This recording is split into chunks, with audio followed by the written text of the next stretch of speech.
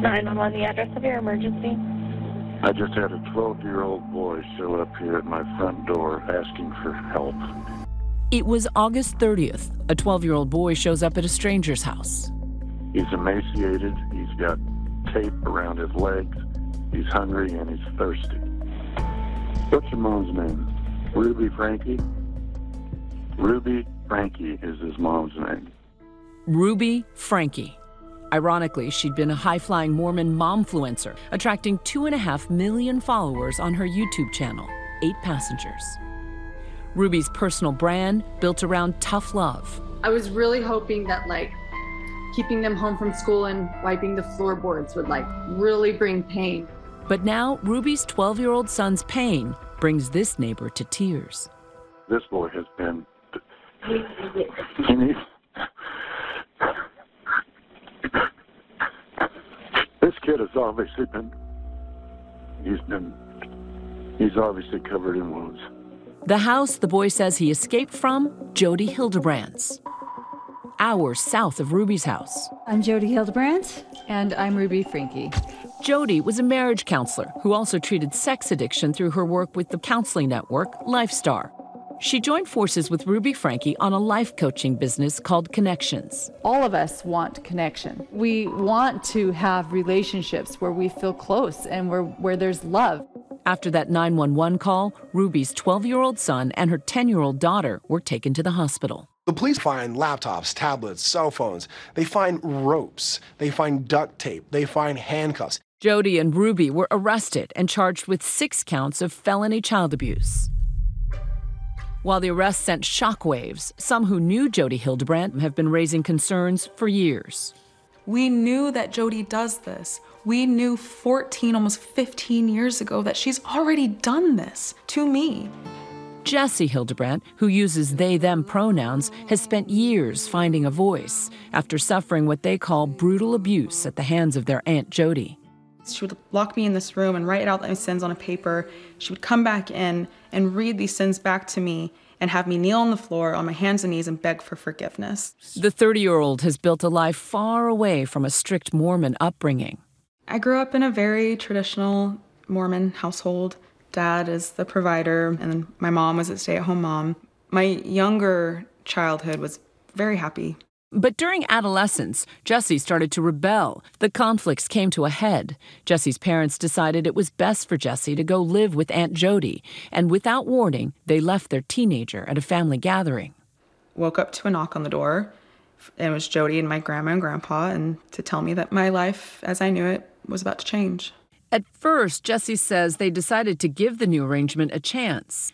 After all, Jesse's aunt was a licensed counselor. Jodi Hildebrandt has been one of the top recommended therapists by the Mormon Church in Utah for at least 15 to 20 years. But at home, Jesse says their aunt was an altogether different person. She made me sleep outside in the snow. She duct taped me. Um, I wasn't allowed to speak to anyone. What, in theory, was the justification for the duct tape? The duct tape was, in her words, an external reminder to me that I'm a liar and that every word that comes out of my mouth is a lie. In March of 2010, Jesse made it to the police station in American Fork and filed a report against Aunt Jodi. Jesse's statements in that report echoing the story they told us duct tape over her mouth, sleeping outside, not allowing her to talk.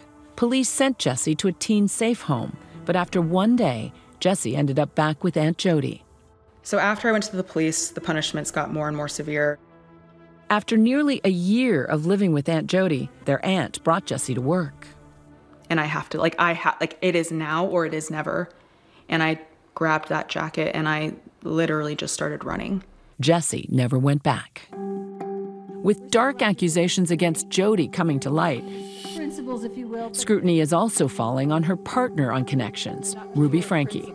They are distorted. People who watched Eight Passengers were the ones to first kind of ring the alarm as to this alleged abuse that we're seeing now. People have been pointing out how problematic this family is for a while. When does the way a parent parents go from cringeworthy to child abuse. My bedroom was taken away for seven months and then you give it back like a couple weeks ago. I don't think our viewers know that. You've been sleeping on a beanbag. I've been sleeping on a beanbag since October.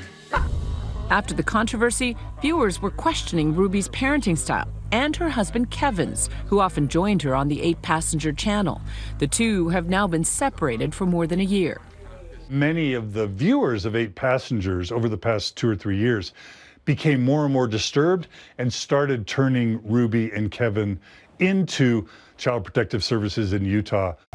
In 2020, a Change.org petition requesting that CPS check on the children received hundreds of signatures. Impact has obtained records showing police responded to the Franke home more than a dozen times over the past few years, including several reports of juvenile problems in 2018 and 2019, and multiple welfare checks in 2022 and to the point where they felt like it was a necessity to go talk to the family, at least to the children, to find out if there was any merit to any of the allegations. But police who investigated the case were unable to speak to the children and filed a request for a warrant to enter the home. Even though it was submitted to the judge, the warrant was not signed and it wasn't granted. And so there wasn't much they could do at that point. CPS is now being investigated for their handling of the case by Utah's Child Welfare Legislative Oversight Panel. Through his attorney, Ruby's husband Kevin says those early complaints were nothing serious. Kevin felt like that they were just being harassed by people online calling the authorities and having to come to their home. It was just a difference in parenting style, but nothing abusive up to that point. After the shocking arrest, there's a growing chorus of people laying the blame squarely on Jodi Hildebrandt. It's 100% Jodi. And I understand why the public is focusing on Ruby. It's Ruby's children. But all of these theories and these modalities and these these um, parenting ideas, that all comes from Jodi. Kevin feels like Jodi manipulated the entire family, children included. Since her arrest, Jodi Hildebrandt has given up her counseling license. Sitting in a striped prison jumpsuit, Jodi answered to a higher authority, a judge. Jodi Nan Hildebrandt? Yes. Okay. Ruby Franke sat expressionless, a far cry from the bubbly momfluencer of Eight Passengers fame. Miss Franke, can you hear me? Yes. Both ordered held without bail, and neither have entered a plea. Impact reached out to both Ruby and Jodi's attorneys. Ruby's declined to comment. We have yet to hear back from Jodi's. Just one count of aggravated child abuse is up to 15 years in jail. At the same time, they can say, you know what, we found out you abused them six different times. You can really get to a high number here. Ruby's four minor kids are in the state's custody, but their father, Kevin, seen here in these DailyMail.com photos, is trying to win them back. His hopes and his objective is to convince the state that he's a good dad and that those children would be much better off with him than in state's custody. For Jesse, healing and moving on has been a long and winding journey. I was incredibly unstable in my early 20s.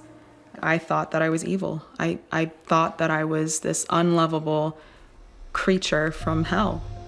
Jesse is not currently speaking with their parents. Jesse says the wounds from the alleged abuse at the hands of Aunt Jodi still too raw. Impact reached out to Jesse's father for comment and did not receive a response. Jesse is now living life on their own terms and recently moved to Seattle to be a tattoo artist. I've been a musician pretty much my whole life. This is just a song about about just relationships. like all, all good songs. Up the last scheduled train to the city. Watch the glow from the street lights go by. What would you say to Jodi if she were sitting across from you right now? You did not win. And you do not own my life. You have no power.